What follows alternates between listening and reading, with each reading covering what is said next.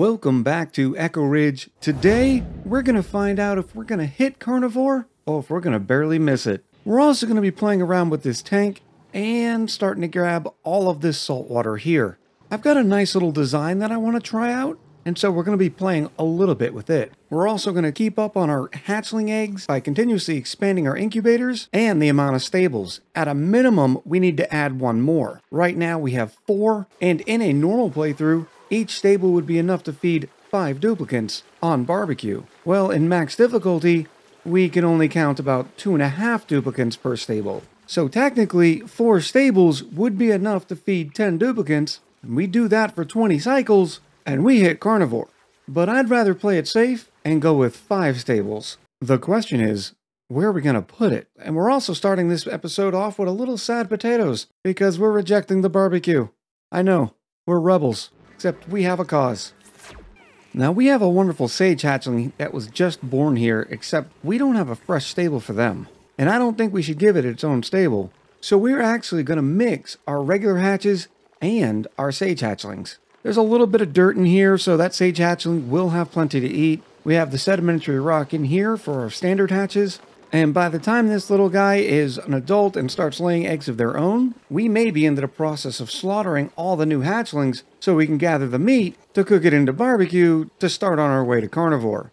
And this is what I meant at the beginning of the episode. We're going to see sometime today if we're able to start carnivore in time. My goal is to start eating the barbecue by cycle 75. We're also starting to run into some minor power issues here. And the reason's pretty simple. We now have enough incubators where there are times where two incubators are both requiring power. We're also starting to draw a little bit too much on that line as well. We do have a little bit of saved up cobalt, but not enough yet to be able to turn all this into conductive wire. So let's go ahead and queue up another, say, 25, and then start on this process. Oh, it's so expensive. In other good news, Sulfur has received their fifth skill point, which means we have access to a mechatronics engineer. Unfortunately, the only research we've unlocked in the shipping category is the auto sweeper. This is still a good start, but to really capitalize on this, we're going to need solid transport. Unfortunately, with the power system upgrade that we're having to go through, we're going to have to put that on the back burner.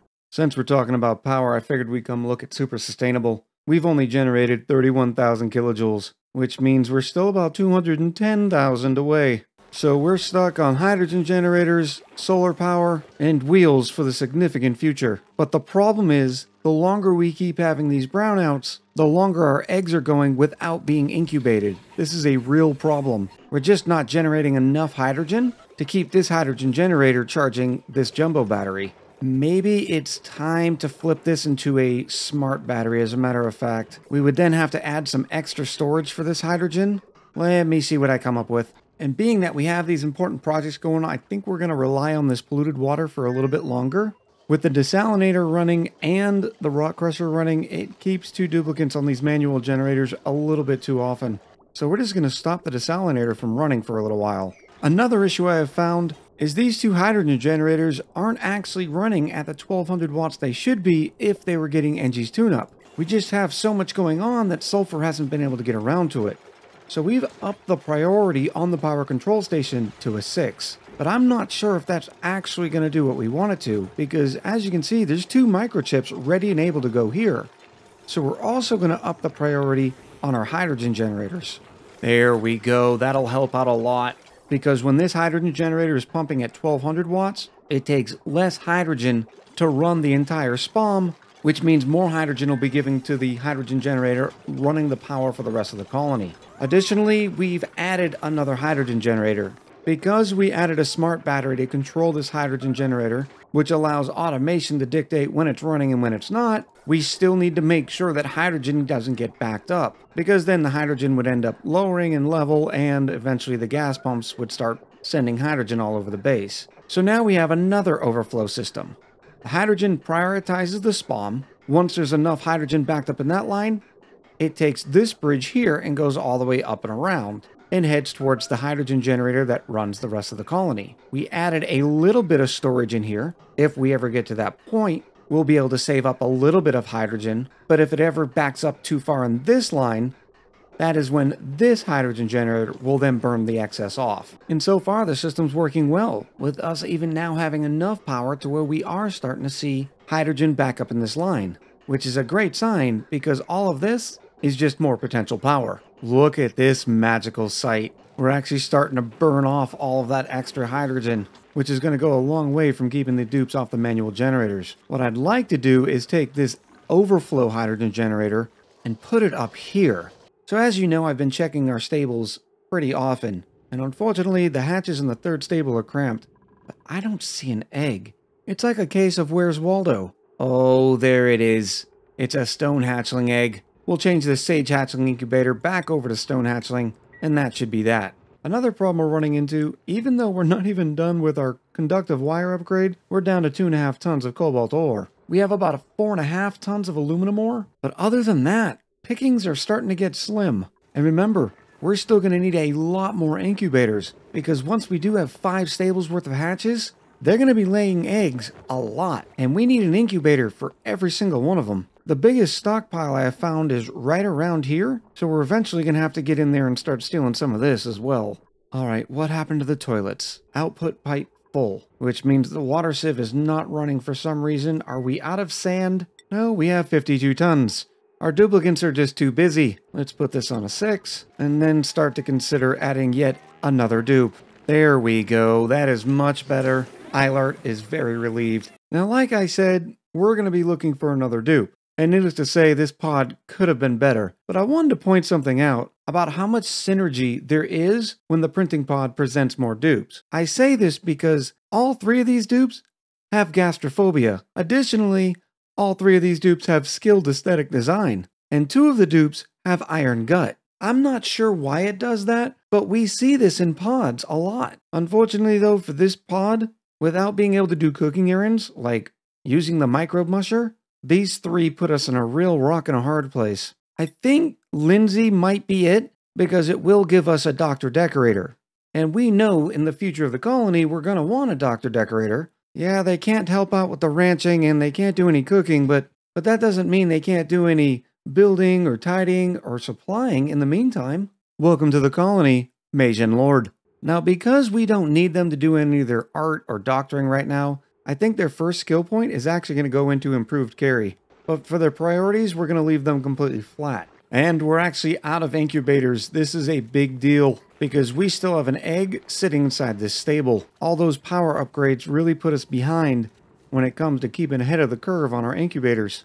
All right, we're back to normal now. The egg was dropped off and we're already going to start with another incubator. Because as soon as the next egg is born, we're going to be in the same pickle and we still haven't fully upgraded the power network. And there we are again.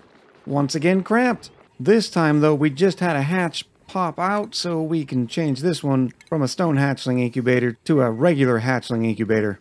And another egg is down, but luckily this is in our stone hatchling stable and they still only have six critters, so their reproduction is fine. To kind of recap where we are right now, we have eight hatchlings in stable number one, all adults, we have six in our second stable with a few babies. We have eight in stable number three, all adults.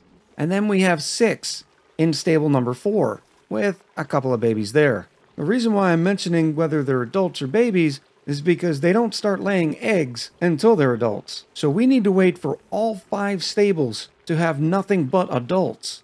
We're almost at cycle 60, so I really need to start getting working on that fifth stable. All right, for the first time in a minute, we are ahead of the power curve. We have two empty incubators. Uh, disregard. We have one empty incubator, and I found the location for stable number five. It's gonna be a little wonky, just like this one, but it requires the least amount of work to put down all these tiles. And why are we building this stuff out of obsidian? What's wrong with you? For this fifth stable, we had to make a decision on whether or not it was going to be standard hatches or stone hatches. Our stone hatch stable already has seven critters, which means we only have room for one more. And after that, if we don't add another stone hatching stable, we'll have to turn every other stone hatching egg after that into barbecue. Ultimately, I went with a standard hatch because all eight of those critters are already in incubators. It is cycle 61, and once all of these eggs here are born and then turn into adults, we will be ready to start carnivore. My goodness, look at this Quinn. Plus 11 to husbandry, plus animal lover. That means they start with a 14 husbandry. This is a no brainer. We have to take Quinn, even though the calorie situation is starting to look a little dire. Welcome to what I'm hoping is the last dupe we take for a little while Miss Pandamanda. Miss Pandamanda is going to go directly into farming, and hopefully they'll be able to level up as quickly as possible so we can get them into critter ranching. But there it is husbandry of 14 from the rip. And the situation I was talking about earlier has now arrived. We are actually full on stone hatchlings. So this little guy is going to be our first barbecue of carnivore. Well, not really. Between pips and hatches naturally dying, we've eaten 33,000 calories. This is just the first overflow hatch that we're going to be turning into barbecue. And we actually have four empty incubators right now, so I'm feeling okay. I know we have one egg in the stables to deliver, and we have four babies sitting in stable number five. We've also 100% completed our power line upgrade, which is a big help, especially with this amount of incubators, because we're about to get to the point where three incubators are going to be running at once. So now what I'm doing this episode is going from stable to stable, making sure all the hatches are not cramped, because if they're cramped, it means that there is an egg somewhere in their stable. Something else I have to keep aware of is our carbon dioxide level is starting to rise to dangerous levels. Almost half of this level is now nothing but carbon dioxide, which could pose some problems with dupes dropping off eggs or hugging them, things that we don't want to play around with. And right now, I think the easiest solution is just to freeze it. Carbon dioxide turns into a liquid at minus 48, but then it turns into a solid at minus 56. Well, it just so happens if we dig far enough down, it's cold enough to freeze the carbon dioxide. Now, the dupes aren't going to love it, but desperate times, desperate measures, those sort of things. Here's another game of Where's Waldo. I couldn't figure out why they were cramped. I was staring at this stable and couldn't find it. Do you see it? That's right. We have our first smooth hatching egg. A part of me actually wants to let this guy grow and refine some of our metals for us. Because yeah, the smooth hatchlings only refine at a 75% efficiency. It's still a lot better than the rock crusher. We've literally wasted half of our aluminum ore and our cobalt ore because we've been on the rock crusher for so long. It doesn't help either that this asteroid has next to nothing in terms of metal. I really do love this sequential method of timer sensors here. Whenever I have a new timer sensor that needs to be reset, I just find out where the green one is. So for instance, it's here and here. So I know the next one over is the correct timer sensor. Now, in all of our competing priorities, our water tank level has gotten a smidge low. The polluted water tank is pretty much drained. We have this little bit here. So we have connected the desalinator back up, but it is definitely a beast. It has to be emptied all the time, the duplicants have to run on the manual generators to keep it going, and I think that's the reason why our calories are starting to suffer. Either way, we went ahead and activated pickled meal. That way, in the contingency that we just don't have any water, other than what we're saving for our oxygen, we can still turn the meal lice into something edible. At least until the point where we have a good amount of water again. Our last stable has eight critters in it. Now granted, they're all babies, but that means in five cycles, they'll all be adults, which will put us at cycle 70, which means we'll have 30 cycles in order to eat about 350,000 calories. So I think we're actually going to make it, as long as the dupes will occasionally pick up the meat and throw it in the electric grill, but you know, beggars can't be choosy. I didn't know the Quins were yodelers. Miss Pandamanda's having a great time. And just when we thought we had enough incubators too, a stone hatchling decided they were going to lay an egg. Now, I'm sure there's some sexy math out there that would let me know how many incubators I need, but for now, I'm just going to keep going with the one more incubators is how many I need. So we now have four critters waiting to be killed, and yet the dupes think they're too busy to do it. And this is a problem with priorities. Most of them have another task they'd rather be doing. Typically, attacking is number one. So just to make sure, we're going to put everybody in the colony on high attacking because yes, this gives us barbecue, but it also frees up incubators.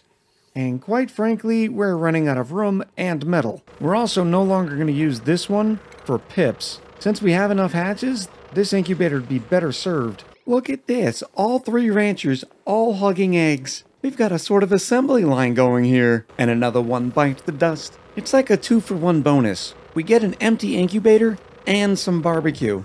As we were saying before, we have three incubators now being powered at one time.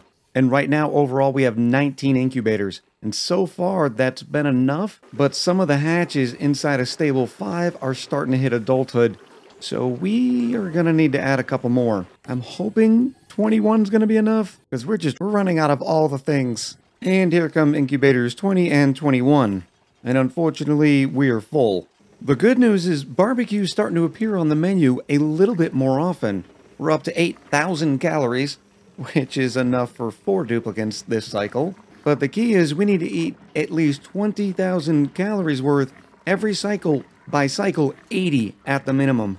With the barbecue coming in slowly but steadily, we've actually turned off the microbe mushers. I'm going to keep a really close eye on the calories. Right now, we have about five duplicants worth coming in in the form of pickled meal, and the rest being supplied by barbecue, as long as we can keep it up. As a matter of fact, this sage hatch was the last baby we were waiting to grow up. We officially have five stables with eight adult hatches each. That should be enough to feed 12 and a half duplicants on barbecue and get us all the way to carnivore. As long as I can keep all these hatches happy and reproducing, we should be good. Miss Panda Manda is finally leveled up again, so we're now going to have four ranchers capable of doing lullabies and ranching errands. This should help keep the barbecue machine flowing. With the barbecue buffet fully underway, it's time to slowly start turning our sights to other projects. First is long-term water. As we mentioned before, I'm going around and grabbing all this standing salt water, and we're dumping it into this tank.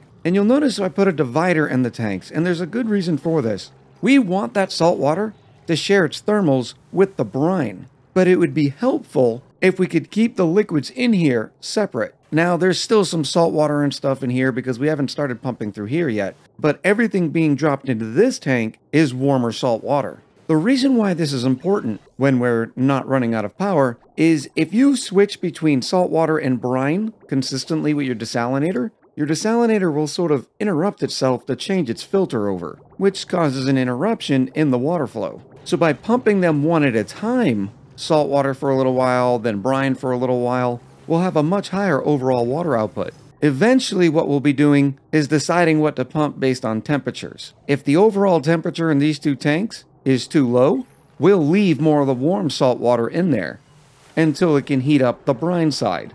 Whereas if the temperature in here is too high, we'll leave the brine in the tank and allow it to continue to cool the warmer salt water. But those are long-term plans, and as you can tell, labor is still at a premium. I also wanted to give you an update on the carbon dioxide. As you can see, it's actually dropped, and the reason why is because we finished the ladder rung all the way down here, so as the carbon dioxide gets lower and lower, being the temperatures here what they are, it freezes. It's a slow process, but we do have some here. Now eventually all that carbon dioxide will heat this place up, but my guess is it's going to be a couple hundred cycles. And by then, hopefully, our colony will be doing a little bit better. And once again, we are maxed out on incubators. I need to figure out how many incubators we really need. Let me try the math out like this. We have five stables with eight hatches each, or a total of 40 hatches. And each one of those hatches is going to lay an egg every 5.88 cycles. So if we take the 40 and we divide it by 5.88, we get a number of 6.8. Well, we know each one of those incubated hatch eggs that's properly lullabied will take 4 cycles to hatch. So we multiply that number times 4, and we get a total of 27.2. So my theory, if my math isn't wonky, is we need 27.2 incubators to keep up with the demand of the eggs. And while I'm trying to expand our incubators to that count, I think we're going to do a quick stopgap measure. I'm going to put an automatic dispenser in here and set it to sweep only and critter eggs. That way when I see little eggs like this that we don't have an incubator for yet, I can sweep it to get it out of this stable so they can go back to the business of making eggs. We'll eventually get up to that 27 number, but until then, we gotta make sure those hatches keep laying eggs. The last project of the episode has once again to do with power. We're gonna extend this overflow hydrogen line all the way up here. With the idea is if we can get this extra hydrogen generator up here, we'll be able to save a little bit on the duplicants having to run on the wheel. You know what? I should probably move this over just a smidge. That way I can also put it inside of its own power station. Not that we have any refined metal for this, but, you know, we'll take one problem at a time. We're also going to back off a little bit from the pickled meal. We already have 50,000 calories, and at this point, every single duplicant should be eating nothing but barbecue. It doesn't quite work out that smoothly, because for the time being, we're going through a bunch of ebb and flows of when those hatches are being born. Eventually it'll all stabilize, but for right now, it's still hit and miss. You know what, if I'm gonna store eggs, I might as well start storing them into an evolution chamber. Right now, we're two eggs behind. Not too, too bad, especially considering we started eating barbecue before our drop dead time, and the fact that we are at 23 incubators. But these hatches are starting to reproduce like rabbits. I can barely turn around before there's another one that's laid an egg. This is hilarious. It's like the game knows you're going for carnivore, except this time, I don't think we'll need them.